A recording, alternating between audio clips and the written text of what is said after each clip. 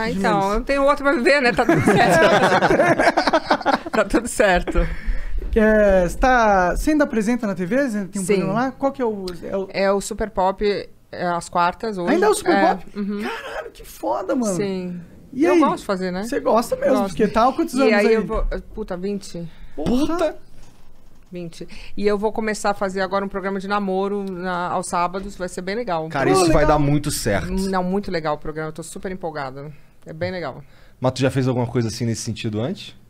Não. Mas tu já tá tão. Já apresenta há 20 Ah, anos, não deve qualquer ser. coisa. Não deve ser muito Não difícil, mano. Ao vivo, né? Tipo, eu fiz programa ao vivo muito tempo, então Quanto, o Super Pop era ao vivo durante uma época? 17 anos. De Só- segunda a sexta. Que foda, mano. Por- Como que surgiu a ideia do Super Pop? Aí eu já não sei, porque eu quando eu cheguei já tava pronto. É, tu Já substituiu a Adriane Galisteu, não é? Sim. Ah, pra você ver como eu entendo de, É. de TV. É, não, mas é porque eu Tudo sou. bem, eu também não entendo muito de podcast. tá É que, é que eu sou.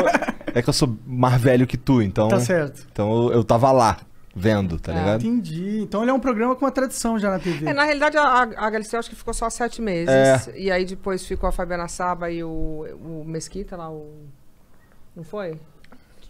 Né? O Otávio? É, o Otávio. tava é. mesquita. E aí estavam substituindo e eu tava morando em Nova York, aí eu fiz um. Me chamaram pra vir fazer um teste, e aí acharam engraçado que eu não entendia nada do que tava acontecendo.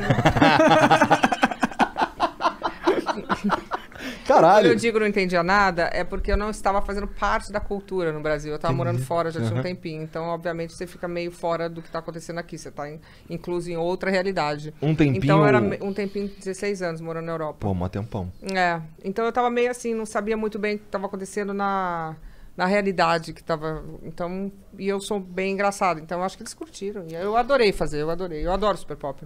Foi da Maneiro. primeira vez que você foi lá, você já curtiu, já foi da hora? Como que Então, não. A primeira vez que eu fui, eu tinha acabado de chegar de viagem e eu fiquei. um- Eu nunca tinha apresentado nenhum programa. Então me deram o microfone, eu não sabia nada, realmente nada. E eu, eu fiz e eu achei que. Não, não gostaram, porque eu tava, tipo, completamente fora da casinha. Não sabia o que estava acontecendo. nunca apresentei um programa. Mas já chegar aqui, ó, faz um podcast aí, oi? E Só que aí eu acho que viram e, e eu acho que acharam legal o fato de eu conseguir reverter as situações. Aí eu também já fiquei esperta. Na primeira vez que eu fiz, eu vi onde eu errei e falei, ah, se eu tiver a chance, quando eu voltar, vou fazer diferente. Aí me chamaram de novo. Aí eu já estava preparadíssima, estava afiada.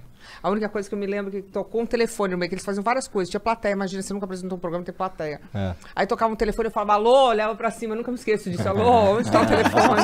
e eu tinha muita dificuldade em olhar pra câmera. Eu achava aquilo muito tenso. É, não, é, é, pô, é difícil também. Eu, quando comecei a fazer meus videozinhos no meu quarto, olhar pra câmera sempre Não é? não é, um. Tipo, É, caralho. Parece que estão te olhando? É, é, você não tá mais sozinho de verdade, Sim. né? E aí, depois que você acostuma também, como tudo na vida é costume, depois que você acostuma, é muito difícil não olhar. Se tem uma câmera, normalmente eu tô falando com ela. Pode e aí, crer. se você não pode falar com ela, você fala, meu Deus, aí... hum. tá ali, né? Oi, bem. É.